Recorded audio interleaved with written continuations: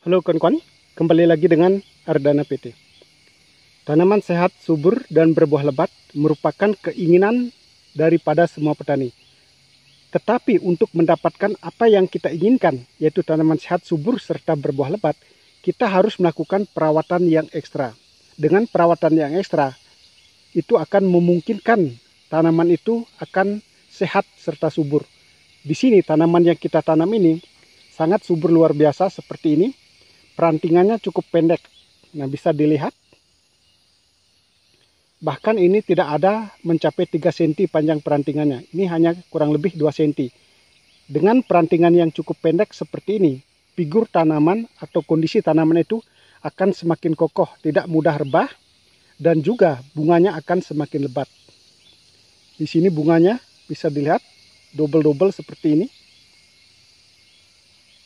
ada teknik-teknik khusus yang kita terapkan di dalam perawatan tanaman cabai, baik di musim kemarau maupun di musim penghujan.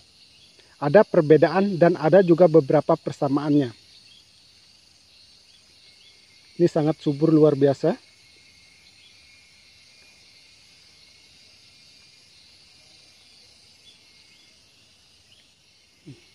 Daunnya hijau sekali.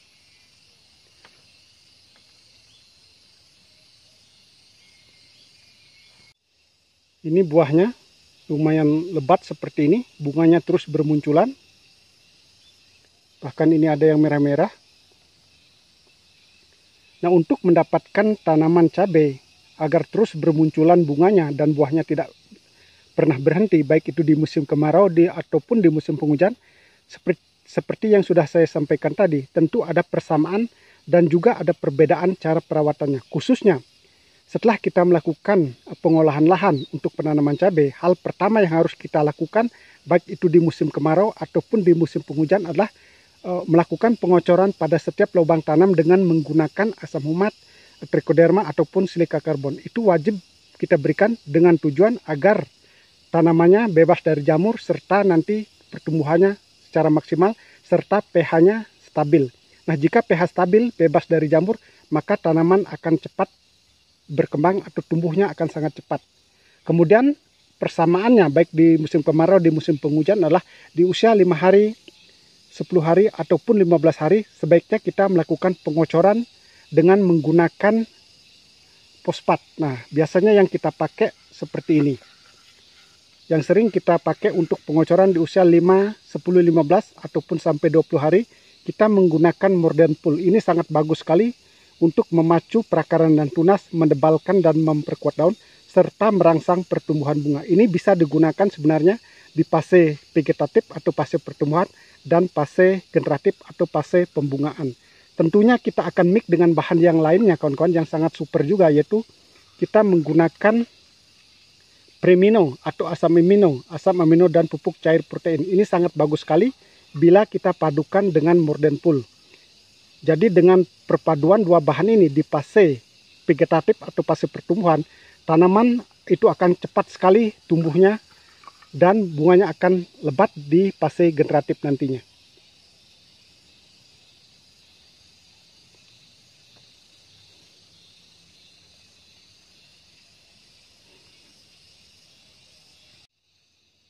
Di usia tanaman cabai sudah memasuki 30 hari ataupun 35 ataupun 40 hari kita wajib memberikan yang namanya pupuk susulan. Nah, pupuk susulan harusnya diberikan di lubang pupuk seperti ini. Jangan memberikan pupuk susulan di pangkal batang seperti ini. Itu kurang bagus, itu berbahaya, bisa menyebabkan batang tanaman ini menjadi busuk atau hitam. Lebih bagus kita membuat lubang lagi di sini, di sampingnya. Ini jaraknya kurang lebih 10 cm, sudah cukup. Bisa juga memberikan pupuk susulan di sini, kita buat lubang di sini Nah, pupuk susulan yang diberikan di fase vegetatif atau fase pertumbuhan ini menjelang fase generatif itu menggunakan SP36 kemudian dicampur NPK 1616 kalau ada KCL itu akan lebih bagus. Nah, dengan perbandingan 2 banding 1. Artinya kita memberikan SP36 2 kilo, kemudian NPK 1616-nya 1 kilo, kemudian kalau ada KCL kita berikan 1 kilo kita akan taruh di lubang pupuk seperti ini. Takaran atau dosisnya cukup satu sendok makan. Kemudian di usia 60 hari ataupun 100 hari kita bisa mengulangi pemberian pupuk susulan dengan pupuk yang sama di lubang yang sama. Dengan demikian, maka tanaman akan terus tumbuh berbunga dan berbuah lebat. Nah, perbedaan perawatan tanaman cabai di musim penghujan dan di musim kemarau adalah terletak daripada pemberian nutrisi. Nah, khususnya di musim penghujan, hindari penggunaan nitrogen yang tinggi atau menggunakan urea. Seperti kalau kita di musim penghujan, jika tanaman sudah subur, kita menghentikan menggunakan asam amino seperti ini. Ini cukup sekali-sekali saja diberikan, tidak sesering mungkin. Karena kalau sesering mungkin, tanaman bisa kesuburan dan akhirnya jamur akan masuk ke tanaman dan menyebabkan tanaman itu akan mengalami yang namanya busuk akar, busuk ranting ataupun kena antranoksa ataupun patek. Nah, hal yang harus kita berikan di fase generatif atau fase pembuahan seperti ini adalah memperbanyak unsur kandungan yang mengandung kalium seperti yang kita pakai adalah kalinet seperti ini. Ini suplemen tanaman fase generatif. Ini dengan kandungan ada fosfatnya, ada kalium dan ada boronnya.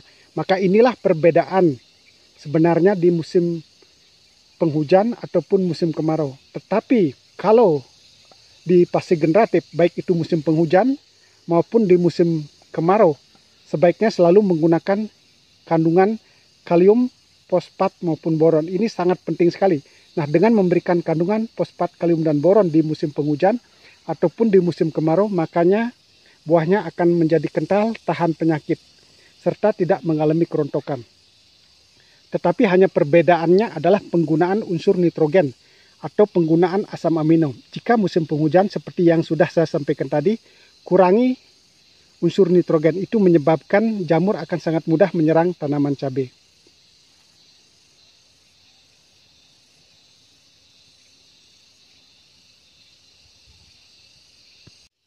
Perbedaan dan persamaan perawatan tanaman cabai di musim penghujan ataupun di musim kemarau adalah yang satunya kita harus melakukan pengecekan pH agar pH tetap stabil. Nah, salah satu teknik yang dilakukan agar tanaman tetap tumbuh maksimal baik di musim penghujan maupun di musim kemarau adalah kita selalu mengocor di pangkal batang ini dengan menggunakan asam humat. Jadi asam umat itu sangat penting sekali peranannya dalam budidaya tanaman cabai. Bisa menggunakan asam umat merek Powerswell ataupun merek yang lain. Nah, bisa menggunakan merek seperti ini. Kita memakai kalha biasanya, yaitu pupuk, kalsium, dan asam umat. Nah, dalam perawatan tanaman cabai, khususnya pengocoran, agar pH-nya stabil dan pertumbuhan tanaman tetap stabil juga. Untuk di musim kemarau, kita menggunakan pupuk kalsium dan asam humat ini menggunakan 3 sendok makan untuk takaran 20 liter air kita kocor langsung di pangkal batang seperti ini. Sedangkan untuk di musim penghujan menggunakan asam humat e, merek Kalha ini yaitu pupuk kalsium dan asam humat ini menggunakan dosis 4 sendok makan sampai 5 sendok makan untuk takaran 20 liter air dan kita kocor juga di lubang tanam ini. Ada perbedaan interval pengocoran di musim kemarau dan musim penghujan. Nah, khususnya di musim kemarau, biasanya pH tidak begitu drop. Bisa melakukan pengocoran interval dua minggu sekali ataupun tiga minggu sekali. Tetapi di musim penghujan, lebih baik pengocoran dengan menggunakan kalsium asam humat. Seperti ini, itu interval satu minggu sekali. Dengan demikian, maka pertumbuhan tanaman cabai akan tetap normal dan stabil. Untuk pengendalian hama dan penyakit yang bisa menyebabkan daun tanaman cabai menjadi keriting itu disebabkan oleh tungau ataupun trit bisa menggunakan insektisida. Bahan aktif dia penturun itu sangat bagus sekali khususnya di fase generatif. Kita biasa memakai merek Agus. Kalau tidak ada Agus bisa memakai merek Pegasus. Itu bahan aktifnya sama. Dengan dosis 10 mili ataupun 15 mili untuk takaran 14 liter air. Itu intervalnya kita lakukan seminggu sekali. Sedangkan untuk mengatasi jamur dan agar perantingan ini pendek, tidak panjang, kita bisa menggunakan fungisida bahan aktif aksosistrobin dan depikinasol dimik dengan bahan aktif mankoseb dengan dosis kita bisa memakai amistrastop contoh obatnya kita memakai 10 mili ataupun 15 mili untuk satu tangki semprot. Sedangkan bahan aktif mankoseb kita bisa memakai 2 sendok makan. Itu interval kita berikan seminggu sekali atau tujuh hari sekali Terima kasih kawan-kawan yang sudah ikut menyimak video ini. Apa yang saya sampaikan ini merupakan pengalaman kita dalam budidaya tanaman cabai. Kita di sini hanya berbagi bukan bermaksud mengguri dan semoga apa yang saya sampaikan ini bisa bermanfaat untuk kita semua dan semoga ke depannya kita menjadi sukses sama-sama.